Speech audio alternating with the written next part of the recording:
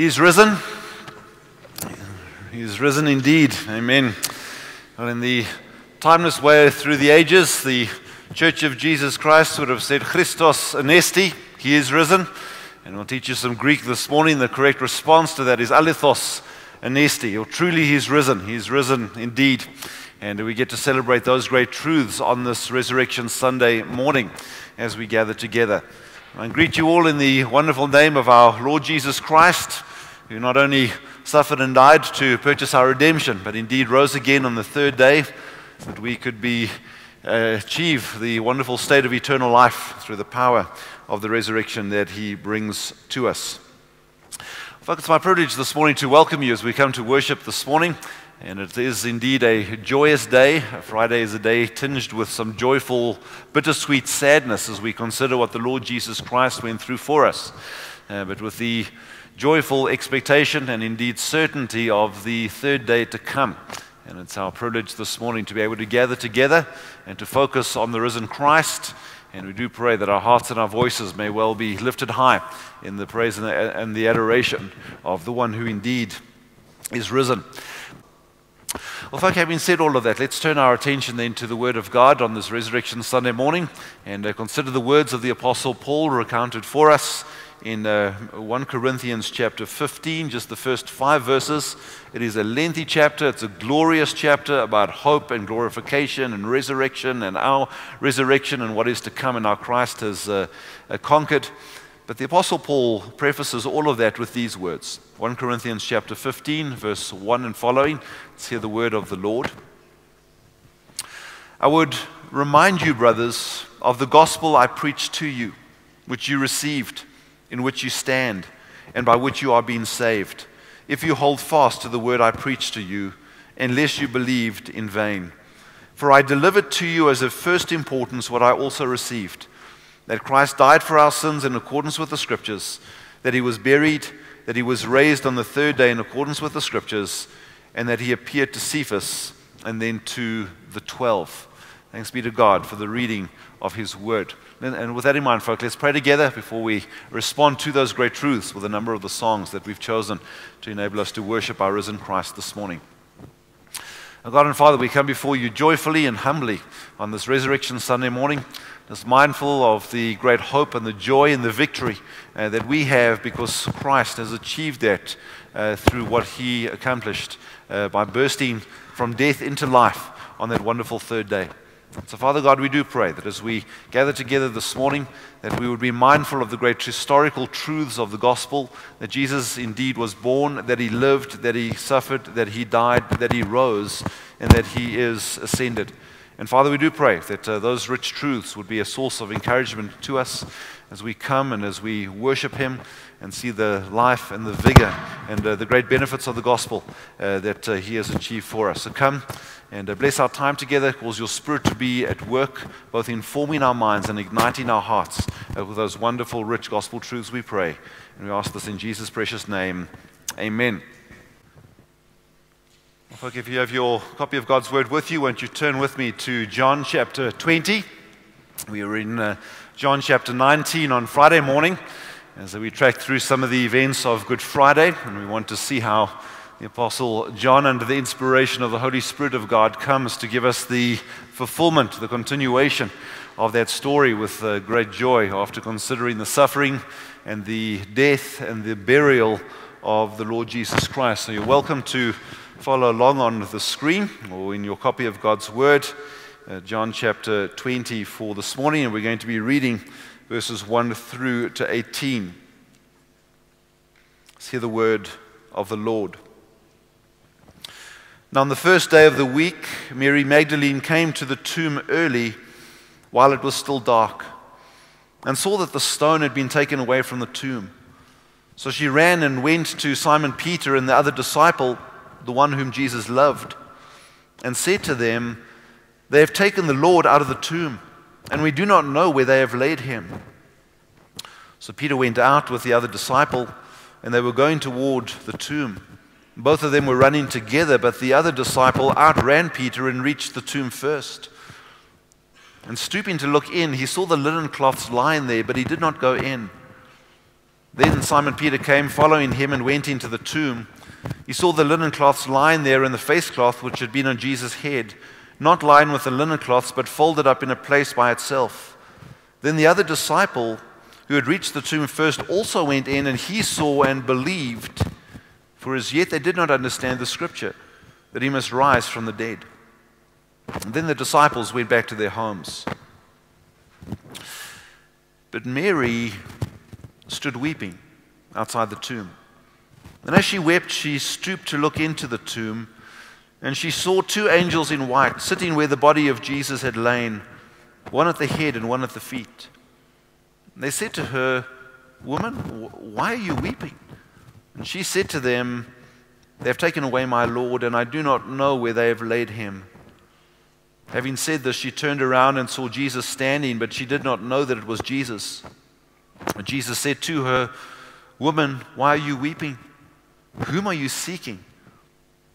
Supposing him to be the gardener, she said to him, Sir, if you have carried him away, tell me where you have laid him, and I will take him away. Jesus said to her, Mary.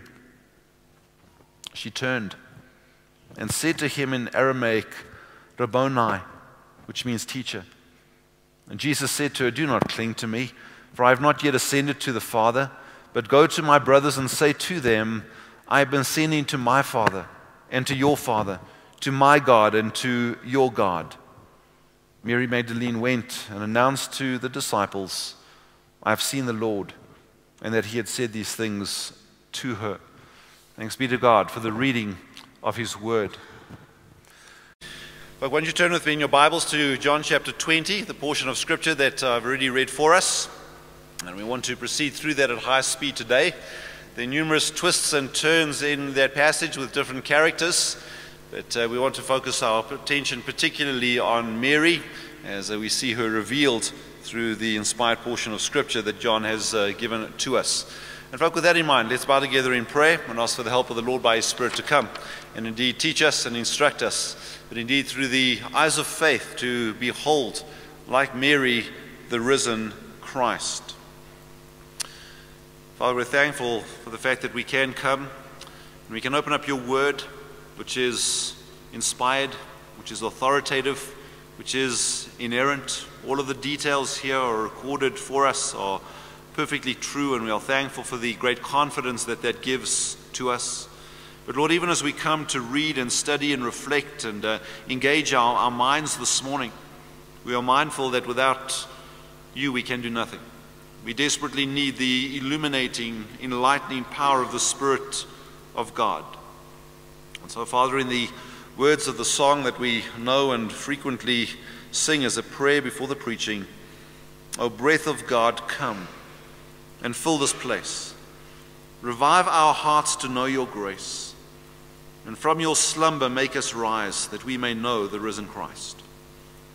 A word of God so clear and true, renew our minds to trust in you, and give to us the bread of life, that we may know the risen Christ.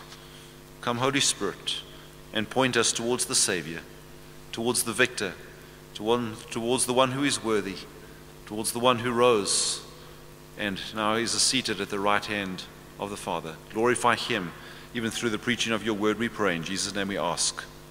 Amen.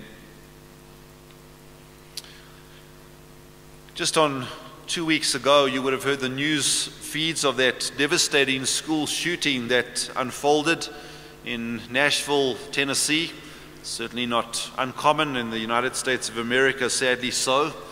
But uh, a young lady burst into that school with some firearms it was a private Christian elementary school. It seems she had been a student there once upon a time and uh, let rip. And as a result of that, three staff members and three little children of around nine years old were killed. Chad Scruggs is the senior pastor at Covenant Presbyterian Church in Nashville. And in God's providence, it just so happened that his nine year old daughter Hallie was one of those that were killed in that particular incident. The next day, on the Tuesday of this week, he released a single sentence statement to the media as he engaged with reporters. And all he had to say was this Through tears, we trust that she is in the arms of Jesus, who will raise her to life once again. Just listen to that again. Through tears, we trust that she is in the arms of Jesus, who will raise her to life once again. Folk, what gives such certainty? How is it possible to have such hope in the midst of such heart wrenching pain and loss? I mean, we look at the words of the Apostle Paul as he writes there in 1 Thessalonians chapter 4, where he says, I do not want you to be uninformed, brothers, about those who are asleep, so that you may grieve, or not grieve, as, at least as those who have no hope. In other words, it's possible to be grieving and it's possible to experience the loss, but in a way that is not catastrophic, in a way that we don't fall apart, in a, in a way that still shows the hope and the joy that we have in Christ. How is it possible to look at death, tragic death, catastrophic death, like Scruggs did, and still have hope? How is it possible to grieve, but not in a way that is marked by falling apart and despair and depression and absolute hopelessness? Maybe the issues for us this morning go beyond just loss and beyond just bereavement. Maybe we just need to look at life in general in the midst of a fallen, broken, sin affected Genesis 3 world that we, that we live in. And ask the question how is it possible to live with life, or to live at least with hope and purpose and joy in the midst of a world that is marked by so much pain? We can see the effects of human sinfulness around us in sickness and disease and corruption and the godlessness and the multiple afflictions that affect people and the trials that come at us from different angles and in different ways, the, the multicolored, the multi-factored level trials that James speaks about in James chapter 1. And we know that we're affected by this. We're not immune as Christians, and we're certainly not uh, bubble wrapped from that, even as a Christian community here at the Randburg Baptist Church. Even as we sit here this morning, I'm fully aware of the despair and some of the black holes that some of you are in, the pit of despair, what, what John Bunyan wrote about in Pilgrim's Progress, the slough of despond that we sometimes get sucked into and we find it difficult to get out from. I know some of the absolute hopelessness that affect, affects some. I know some of the effects of sin and guilt and the baggage and the burdens that are carried as a result of things done and things said. And so, folk, we look back and ask the question how is it possible in the midst of all of those realities that are so crushing to live with victory and to live with certainty? And to live with joy and to live with hope in the midst of all of the stuff that is swirling around and uh, pressing down upon us. Well, folks, this morning we want to lift our eyes beyond those realities and to consider the Lord Jesus Christ. We want to consider the resurrection this morning and to see some of the importance and some of the implications that the empty tomb actually brings to us, not in some abstract, super spiritual, ethereal way, but in real, tangible ways as we live and worship and walk with the risen Christ. We're certainly going to focus our attention on the historical truths because Jesus did rise again, and that in and of itself fosters great hope for us. But I pray that beyond that, that we would find our own stories resonating with that of Mary Magdalene as revealed in this portion of Scripture. And like her, be moved from a state of woeful despair, if that's you, to a place of indeed worshipful delight in Christ and who He is and what He's done for us. We left off the story on Friday, did we not, with the death of Jesus on Calvary? The gospel writers continue to teach us about the burial of the Lord Jesus Christ, which is just another proof that he was actually very, very dead and lifeless. We considered on Friday uh, how he, as the King of glory, suffered and died in our place as a substitution, as a sacrifice for our sins, dying the death that we should have died. Jesus is hanging on the cross as the one who said, It is finished, tetelestai. Everything was done, the work had been accomplished. But if John finished off there, and if John put his pen down at that point, the story of Jesus Christ would be important, it would be fascinating, it would be intriguing, but it certainly would be incomplete. It would not be exceptional. If we look at other characters from history, all human biographies in some or other way end with death. The main character dies, the main uh, character is buried, there is a memorial, there is a funeral, there is a, a gravestone, and uh, tears and memories that unfold. And if that was just the case with Jesus, he would be no different from any other person in history. We would be left with an incomplete picture. A man of exceptional character, a great prophet, a great preacher, a, a, great teacher, a person of great compassion, but whose sincerity and comfort and love would not be doubted in any way as we read the accounts through the Gospels, but we would be left with question marks. What about the statements that he, that he made? What about the claims that he made about himself? What about the promises that he made to his disciples and by extension to us even today? Where was the, the promised glory and the anticipated glory? Because there certainly wasn't any as he hung and died there on a Roman cross. If John put down his pen at that point, we would be frustrated. In fact, we would be shortchanged if John just ended with the cross and the burial of the Lord Jesus Christ. But as the Holy Spirit directs John to keep writing, he doesn't end there because there is more to come. The rest of the story had not yet been written, and we need to consider that even as we come to John chapter 20 this morning. It is a glorious chapter, a chapter in which we see light and life and hope bursting through the pages and the words of Scripture. John, as he writes, writes a story that in some subtle way involves himself. He refers a few times to the disciple whom Jesus loved, and uh, the very best claim is that, that that is John himself. As I said to you earlier, there are characters, there are movements, there are events, there are conversations that, that have. But what we see in John 20 is a dramatic shift from despair to joy, from hopelessness to a position of great joy and anticipation and victory. As we come to this chapter, I want to cut through some of the other characters and some of the other events. That would be a sermon for a different time. Maybe next year, as we come to Resurrection Sunday, there's enough in that to come back to. But I want to dig down this morning onto the character of Mary Magdalene and engage with her and to see how her whole perspective and her life is turned upside down on that wonderful morning.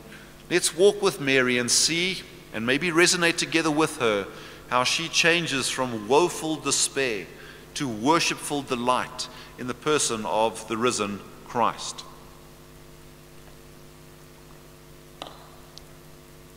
Before we delve into Mary herself, let's just get a view of the story in broad brushstrokes and fly over this at high speed this morning and consider the events of that Resurrection Sunday morning as given to us through the pen of the Apostle John.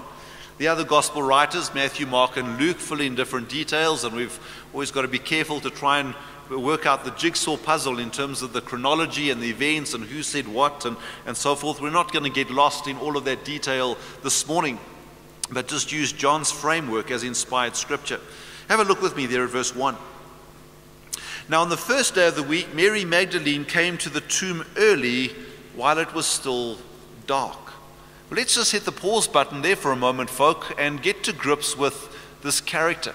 John is shining the spotlight on Mary Magdalene. Who is she? Why was she important? I think it's uh, crucial for us to just nail that down as our focus will be on her, particularly through our study this morning. In Luke chapter 8, Luke the doctor writes this for us in the first couple of verses. And he says this Soon afterwards, he, that's Jesus, went on through the cities and villages, proclaiming and bringing the good news of the kingdom of God. And the twelve were with him, and also some women who had been healed of evil spirits and infirmities.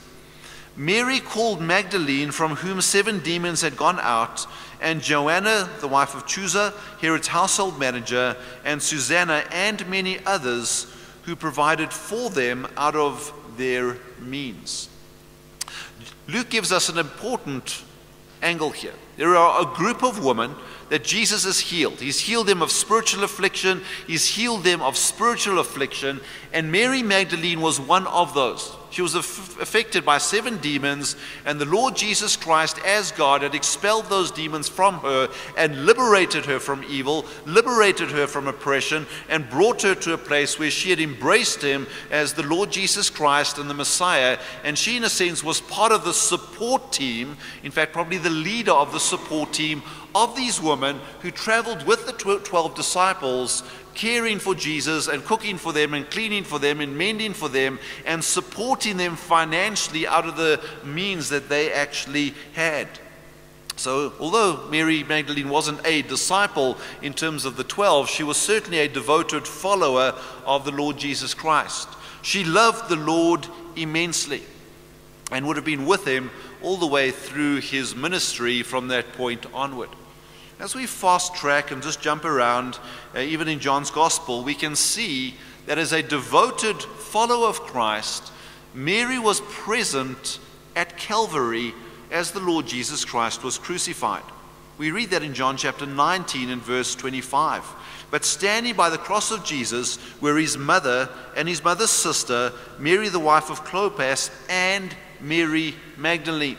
She is an eyewitness of the suffering and the humiliation of her beloved Lord uh, as he suffered and died there on Calvary. Mary was also present at the burial of Jesus, and we pick that up again in Luke's Gospel, Luke chapter 23 and verse 54. It was the day of preparation, and the Sabbath was beginning. The woman who had come with him from Galilee followed and saw the tomb and how his body was laid. And then they returned and prepared spices and ointments, and on the Sabbath they rested according to the commandment. So we can see Mary, witness of the, uh, of the crucifixion, a witness of the burial, and she's got it in her mind to go back there later on after the Sabbath and do what they couldn't do in their haste on, late on the Friday. This lady was a devoted disciple of Christ. This lady, Mary Magdalene, deeply mourned the death of Jesus Christ. She fervently wanted to see, to see his body being honored through a proper burial that they were not able to effect. And that's where John picks up the story as he comes to chapter 20. And so Mary goes to the tomb early on that Sunday morning. On the first day of the week, Mary Magdalene came to the tomb early while it was still dark.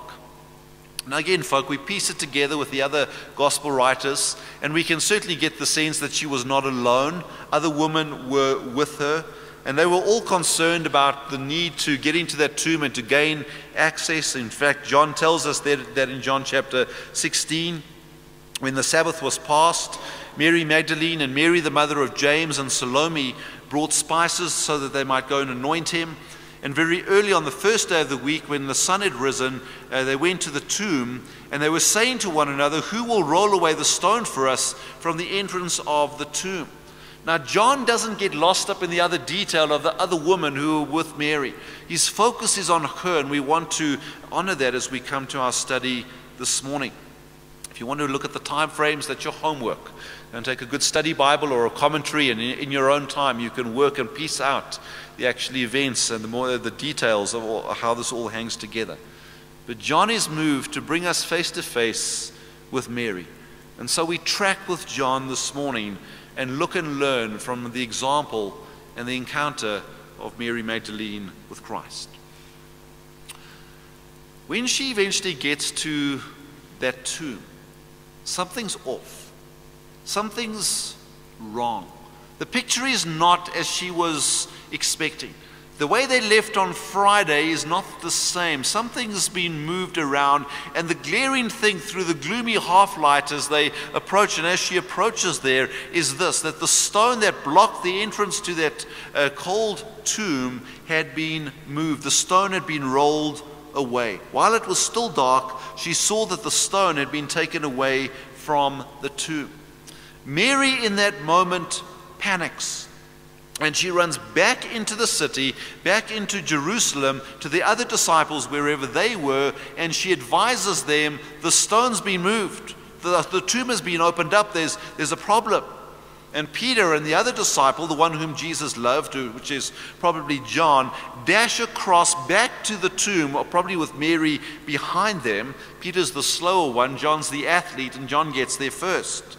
And when they get there, they notice that is true. The stone had been rolled away, and they go in and they notice that the grave clothes are lying there, but Jesus' body is missing. And John gives us that detail to pretty much prove the point that this is not the work of grave robbers who were certainly at work in the area at the time.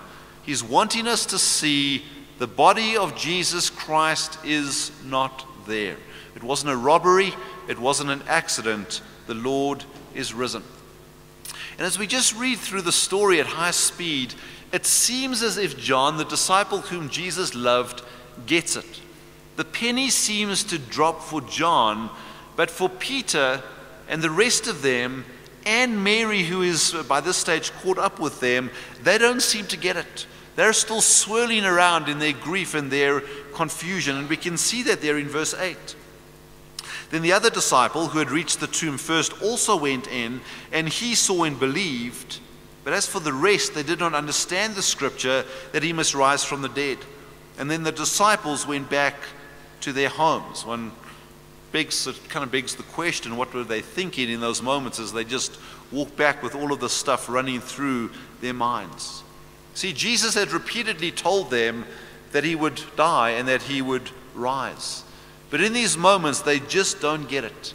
They had heard him speak of that multiple times, but it hadn't become an internal reality for them that he indeed would die and that he indeed would rise. And Mary is not in any way different from them. She had also sat, she had also heard, she had also heard Jesus teach on these issues, but she had not truly heard him and embrace those realities by faith. So Mary remains there at that tomb. And John highlights for us what she saw and what she did and whom she encountered. And as we consider Mary this morning and her responses, some wonderful, rich, exciting, exhilarating lessons start to emerge for us. As I looked at the story and read it backwards and forwards, two key looks emerged for me in terms of Mary. Two key looks where she gazes two times on different things. And as we see and consider those two looks this morning, we can see the dramatic shift in her life and perspective from that of woeful despair to worshipful delight and wonder and joy in the risen Christ. And I do trust that the Lord would indeed impress those two lessons on our own hearts and minds this morning. Firstly, folk, Mary looks with woeful despair. Mary looks with woeful despair. She arrives at that tomb early on the Friday morning with raw grief, the reality of what happened on Calvary had deeply impacted her. We know from the New Testament that death is described as an enemy. Death is described as something that stings, that is harmful, that hurts. And Mary Magdalene had faced that dark enemy and still continued to do so. Mary Magdalene had been deeply stung by the loss of the Lord Jesus Christ, her Lord, her Messiah, the one whom she loved and the one who had set her free. Her Lord was gone. She had witnessed that on the Friday at Calvary. And that was the cold, gripping, tentacle like reality that was encompassing her heart even on that Friday morning. Jesus was gone Jesus was buried. Jesus is no longer here. Jesus is no longer uh, is not coming back, and I no longer have the opportunity to meet with him and to speak with him and to enjoy him and his company and his ministry. That pain gripped the heart of Mary Magdalene. And, folk, that's exactly what death can do. We move beyond her to ourselves this morning. We know from Scripture that the wages of sin is death, not just physical death, but also spiritual death, but there is a consequence. When God spoke to Adam and Eve in the garden, He said to them, You can eat from any tree in the garden except for that one, the knowledge of good and evil. For in the day that you eat of that fruit, you shall surely die. And when they did, death entered the world. Our relationship with God was shattered spiritually, but the realities of physical death became something that every single human being will be touched by in some or other way during our lives and our earthly existence. Loved ones die, bodies give up, disease grips people and strangles life out of those that we know and those that we love accidents and trauma and Nashville shootings happen. We know the sting. We've come face to face with the enemy. All of us, in some or other way, have experienced the loss and the grief and the pain of that dark reality enveloping us. We identify with Mary Magdalene in her woeful despair because we've been there and we're going to be there again. But in her pain, she comes. She comes dutifully to honor him and to work on the embalming with the spices and the ointments that they had prepared. And when she gets to that tomb with her heart broken, her world crumbles even more.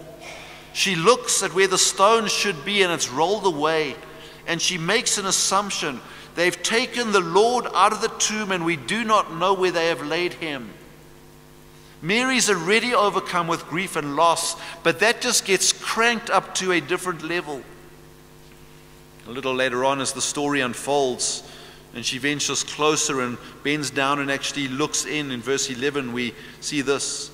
But Mary stood weeping outside the tomb, and as she wept, she stooped to look into the tomb. Mary looks. She's come to tend the grave, she's come to tend the body of Jesus. But when she looks, the body isn't there. The stone has been moved for crisis number one, but now the body is also not there, and the grave clothes are present. And she comes to the same conclusion as Peter and John Jesus is no longer here. Someone's taken him. Something's wrong with this picture. In these moments, as she looks, her whole focus is, is downward on a dead body, but now also a missing body. Even when the angels come and speak to her in that tomb, in the gloomy murkiness, she's gripped by her own loss and grief. Have a look there at verse 11. Mary stood weeping outside the tomb, and as she wept, she stooped down to look into the tomb. And she saw two angels in white sitting where the body of Jesus had lain, one at the head and one at the feet. And they said to her, Woman, why are you weeping? And she said to them, they have taken away my Lord, and I do not know where they have laid him. If I just get this in these moments, the angels are not asking her that question because they, in any way, need information. The angels are trying to prod Mary into a realization of what has actually happened that she's just so blinded to in her moments, in those moments. They come and they ask the question, Woman, why are you weeping? It's kind of a mild rebuke. They're trying to get her to, to think along these lines Mary, wake up.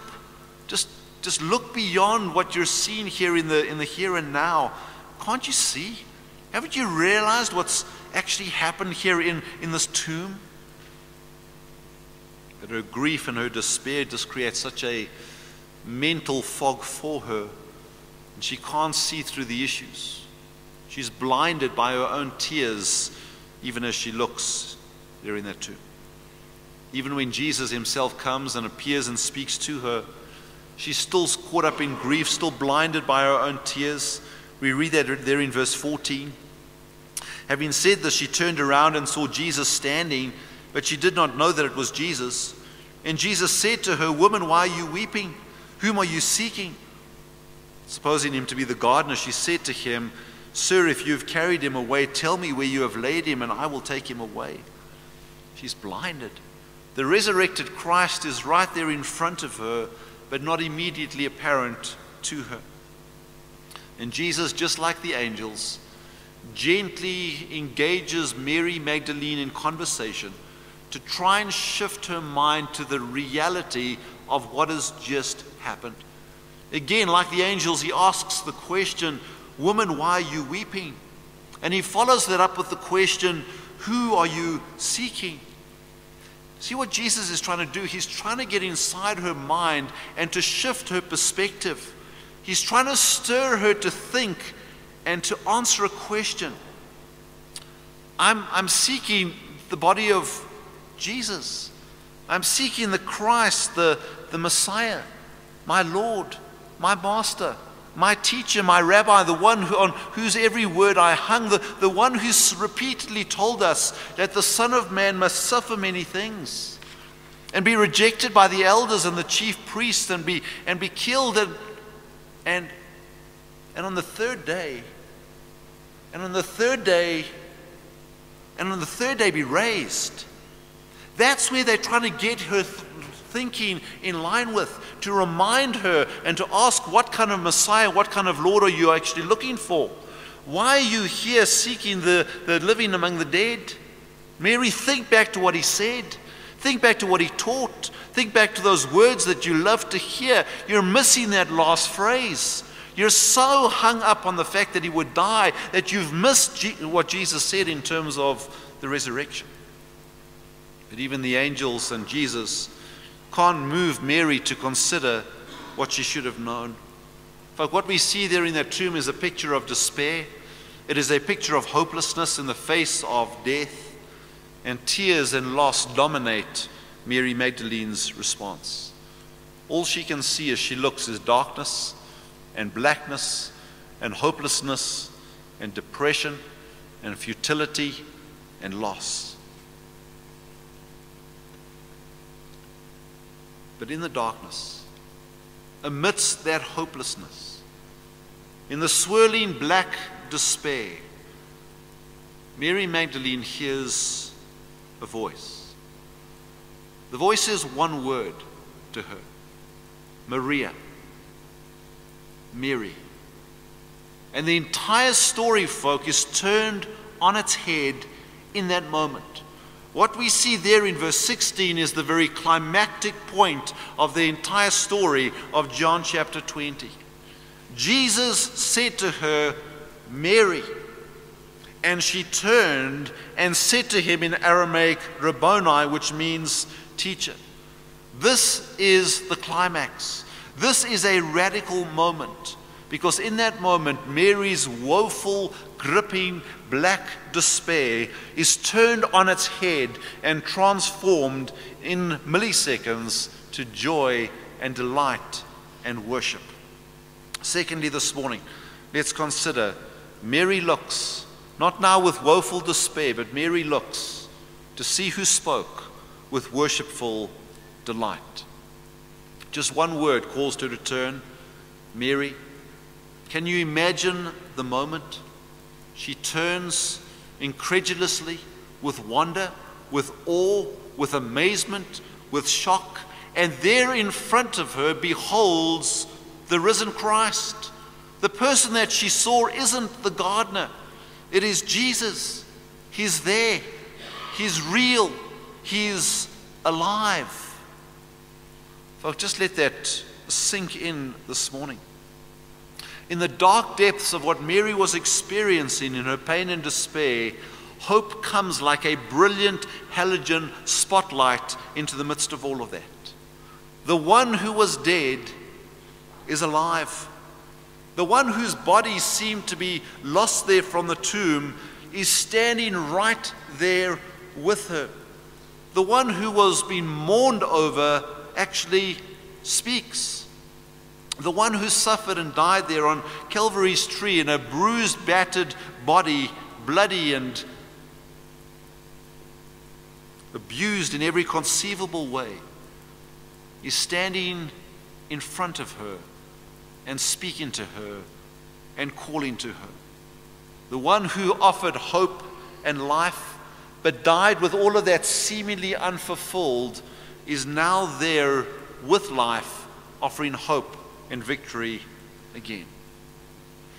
Again, folk, there are events in here that we need to piece together from the various Gospels. Again, some homework for you later on today. But in those moments, she acknowledges the Lord Jesus Christ, Rabboni, teacher, my Lord, my Master, the one to whom I submit. It seems that Mary, in those moments, clung to Christ She just doesn't want to let him go. She's got him back again. Mary had the first encounter. The others seemed to be just behind, but it seems that all of them actually fell down at Jesus' feet. Matthew tells us that. And they came up and took hold of his feet and they, they worshiped him. Why? That was right. That was appropriate. Humble adoration and, and worship at the feet of the risen Lord Jesus Christ was the most appropriate response in that situation. They're giving recognition to Christ's worth as the Messiah, as the Savior and the Lord, but not a Messiah, Savior, and Lord hanging on a cross, but one who has burst to life again. They are in the presence of the risen Christ. In those moments, Jesus speaks to her. We see that there in verse 17. And Jesus said to her, Do not cling to me, for I have not yet ascended to, my, to the Father, but go to my brothers and say to them, I am ascending to my Father and to your Father, to my God and to your God. What was Jesus saying to her and to the others in that moment? Yes, Mary and others, it's appropriate to worship, it's appropriate to adore, but I'm not going anywhere. You don't have to cling to me in those moments. I'm still here. I'm still, still going to be present for a season. I'm still going to live that 40 days on earth as the resurrected Christ before the ascension, and I return back to my Father's glory in heaven. Mary, you can let go. Chill. You don't have to panic. I'm not going anywhere a second time. But Mary, here's the thing I want you to go back to Jerusalem. Go back and tell the disciples, go back and tell my brothers that I'm alive. Go back and share this message. Be the first evangelist of the Evangelion, the good news, and say Jesus died and he was buried, and praise God, he is alive again, and you get to have the privilege of communicating that to them in Jerusalem. Indeed, he is the victor. The Apostle Paul says that Jesus Christ was declared to be the Son of God in power according to the Spirit of holiness by his resurrection from the dead. Mary, you hasten back and you tell them Jesus Christ is the victor. He is one. He is alive. Let your hope be fueled.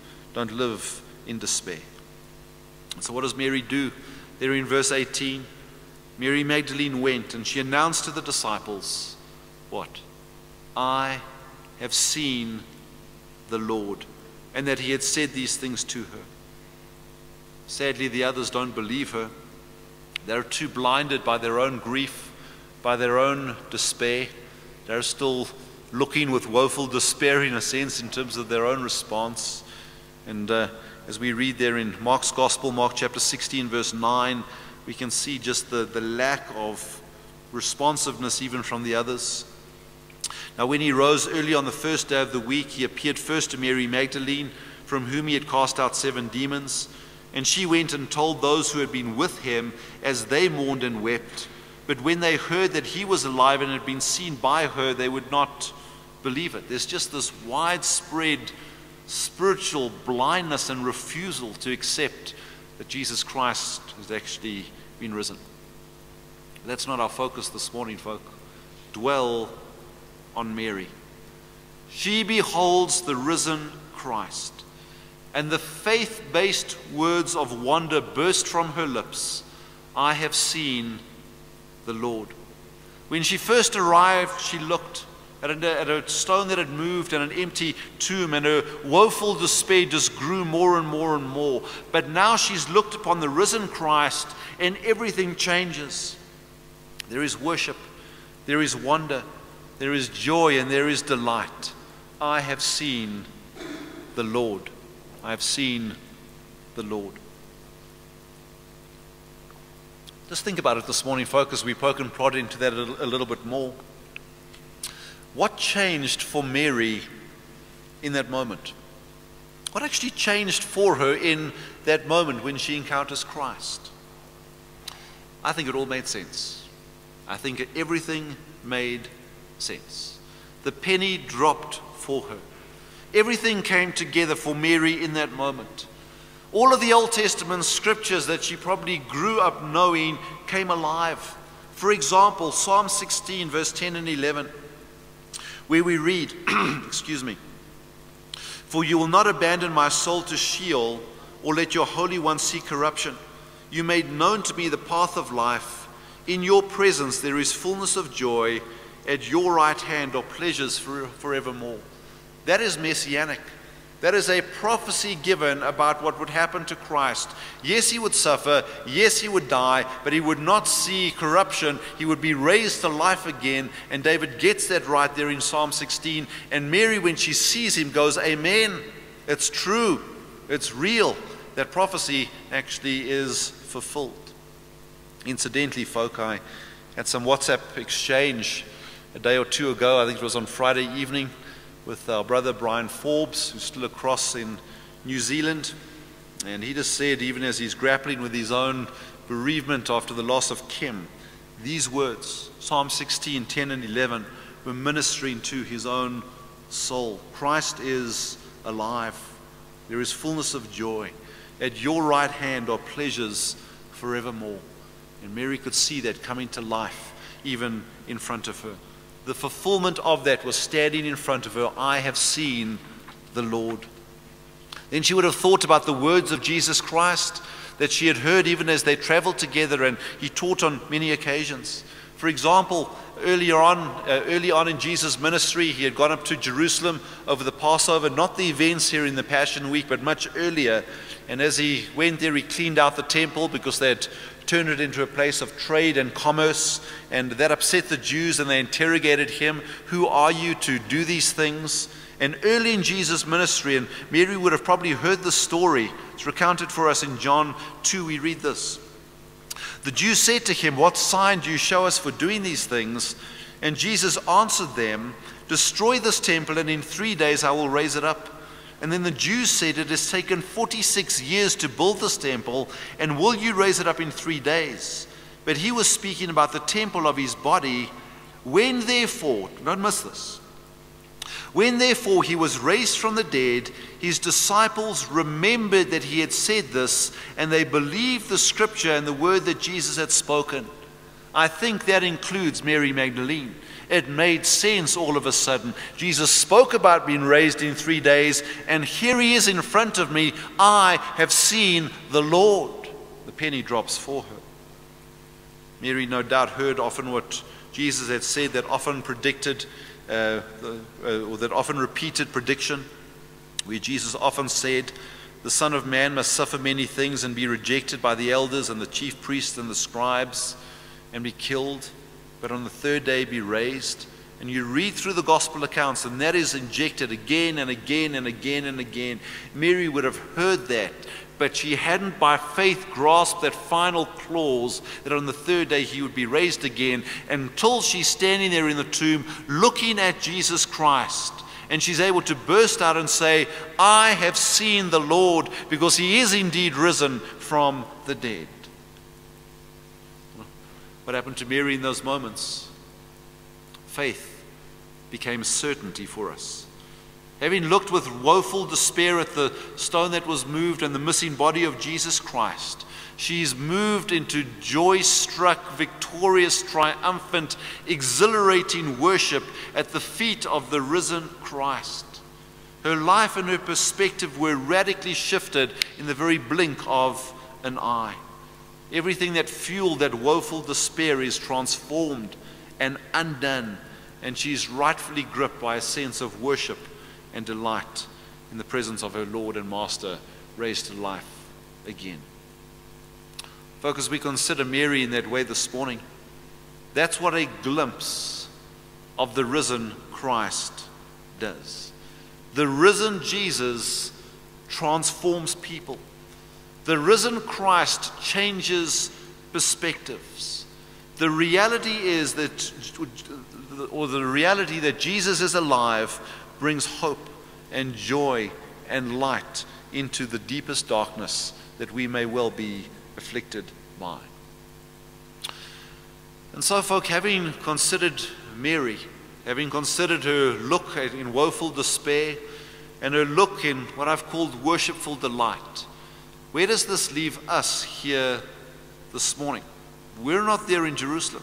We're not there at an empty tomb. We're not physically encountering the Lord Jesus Christ. Folks, as we start tying the threads together this morning, can I exhort you to look like Mary at the risen Christ, but through the eyes of faith, on this Resurrection Sunday morning, let your eyes of faith be lifted up to consider the risen Christ.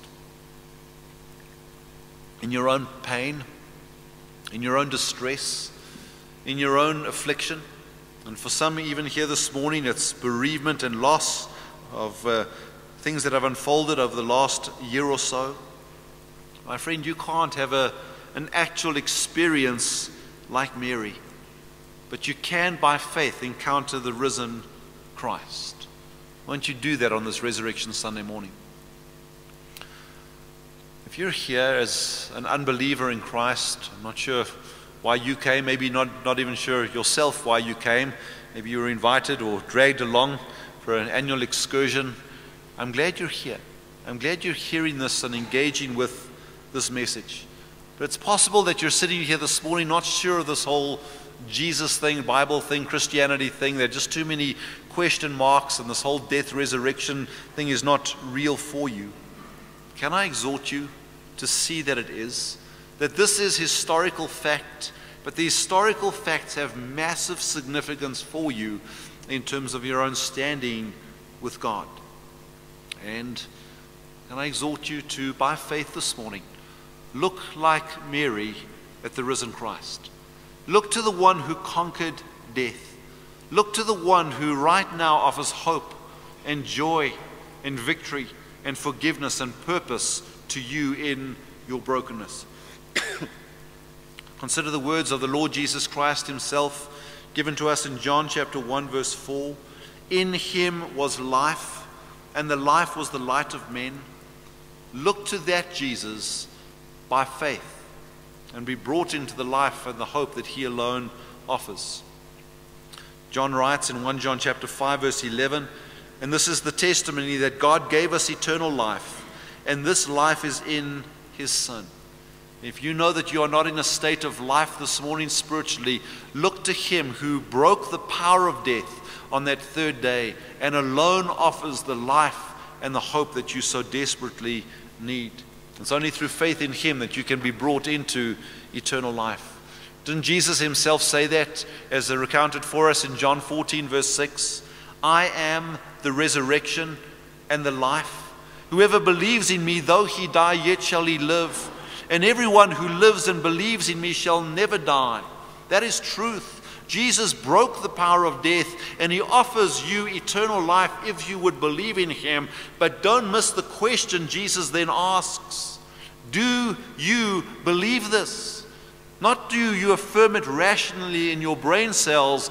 Do you believe this? Have you grabbed onto him as the risen Christ and the only way through whom you can be saved? Because if we confess with our mouth that Jesus is Lord, and believe in our heart that God raised him from the dead, you shall be saved. There is no other way to come into a relationship with God except through this Christ who died and rose again so that you could be forgiven and set free and be brought into that eternal reality and glory of eternal life that he has accomplished for us. My friend, if that's you this morning, don't put off, don't delay. Don't think that you're going to be here next Resurrection Sunday in 2024 and that you've got time to maybe deal with these issues. We don't know. All we know is that we get to face him one day, and when we get to face him, we face him as judge. And again, that is rooted in the resurrection, because as the Apostle Paul preached in Acts, God has fixed a day on which he will judge the world in righteousness by a man whom he has appointed. And of this he has given assurance to all by raising him from the dead. The resurrected Christ is coming back. The resurrected Christ is coming back as King of kings and Lord of lords to judge the living and the dead. And you and I get to stand before him one day as the risen, ascended, returned, glorious one. And what will you say to him on that day? Believe in your heart that he is Lord. And at least confess with your mouth that he is Lord and believe in your heart that God raised him from the dead and be saved this resurrection Sunday morning. But, believer, let me speak to you too as we close this morning. These truths should be filling us with joy and delight and hope and victory. Consider what it means to you as it would have meant to Mary. Consider the reality of the risen Christ this morning and let your own hearts well up in praise and adoration and worship. Because you too, like her, have a risen Savior. You too, like her, have a living Savior. You too, like her, have a glorious Savior. And unlike her, but through the lens of His Word, by faith, we can say, I too have seen the Lord. May that be your reality this morning. Look at the risen Lord Jesus Christ this morning, Christian, and know that He is the victor.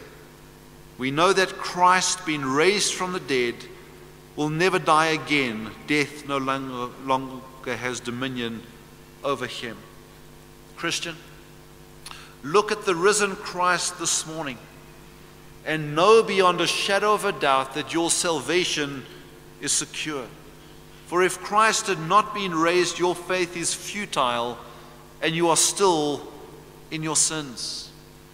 Christian, look at the risen Christ by faith this morning and know that your own resurrection one day is guaranteed, knowing that he who raised the Lord Jesus will also raise us together with him and bring us with him into his presence. Christian, look at the risen Christ by faith this morning and know that you have a living hope of what is going to come in the future. Isn't that how Peter writes? Blessed be the God and Father of our Lord Jesus Christ According to his great mercy, he has caused us to be born again to a living hope through the resurrection of Jesus Christ from the dead. Believer, as you sit here this morning, you have a living hope. Christ is coming back. Christ is making all things new. Christ is correcting every injustice. Christ is going to usher in the new heavens and the new earth, where we by faith get to live in the presence of God forever as God dwells with his people and we with him. That's our living hope. Why? Because Christ is risen. Believer, look at the risen Christ this morning and know that he is always with you. Yes, you feel alone at times. Yes, there is loneliness. Yes, you might feel abandoned. Yes, life is hard. But how can Jesus possibly ever fulfill the words, I will never leave you or forsake you, if he's not alive, if he's not risen? But because he is, I can face tomorrow. Because he is, all fear is gone. Because I know, yes, I know that he holds the future and life is worth the living just because he lives. Those are the realities that we celebrate and hold on to this morning. I have seen the Lord. Look at him through the eyes of faith this morning. But the greatest news in all the world is that Jesus Christ paved a way for us to enter into a saved relationship with God and then exist to love Him and to serve Him and to enjoy Him forever. And to make that possible, Jesus Christ suffered and died on the cross at Calvary. And to make that happen, the final part of the story was fulfilled on that glorious resurrection Sunday morning as the Lord Jesus Christ rose from the dead, shattering the power of death to reign forever. As we worship together this morning, He is our risen Lord, He is our risen Savior, the one whom God has highly exalted, and the one to whom one day every knee will bow and every tongue will confess that Jesus Christ is Lord to the glory of God the Father. What do we do with these glorious truths today? Look. Look like Mary.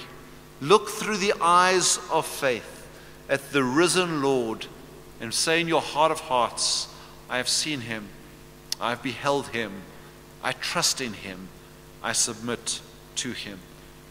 Friend, if you're sitting here this morning and you know and trust Christ, let these phenomenal implications filter down into your hearts and your minds. Be encouraged by them. Be confident in them. Let your love for the risen Christ be warmed and go out into this day and into this week and into the rest of this year with a desire to love Him and serve Him with more fervency and more devotion. He is alive, He is coming back, and hence we have confidence and joy and victory in the midst of all the pain and all the affliction and all the tears and all the despair and all the hopelessness that we encounter. He is alive. I have seen the Lord. May that be your reality this morning. Let's pray together.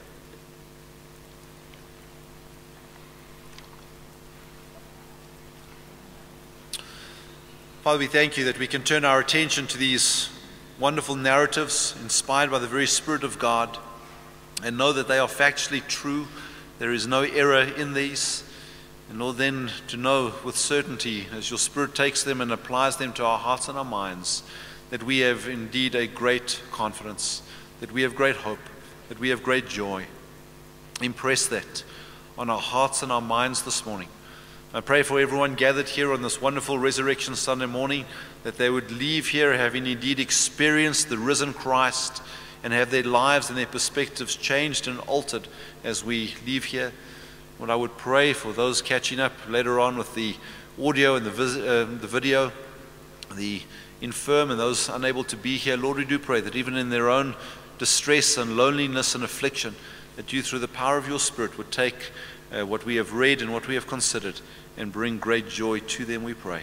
So continue to uh, do your way in us as we seek to live our lives under the authority of the risen Lord Jesus Christ. We ask this in his precious name. Amen. And, with that in mind, let's stand and indeed raise our hearts and voices together as we end. Jesus is Lord. The cry that echoes through creation. He came, He lived, He suffered, He died. He's risen, He's coming back. Indeed, He is Lord, not just Lord, but the risen Lord. And may we indeed go into this week in the words of the Apostle Paul, in a place where we may know Him and the power of His resurrection, that we may share in His suffering, becoming like Him in His death. Go in God's grace and peace this morning, we pray. Amen.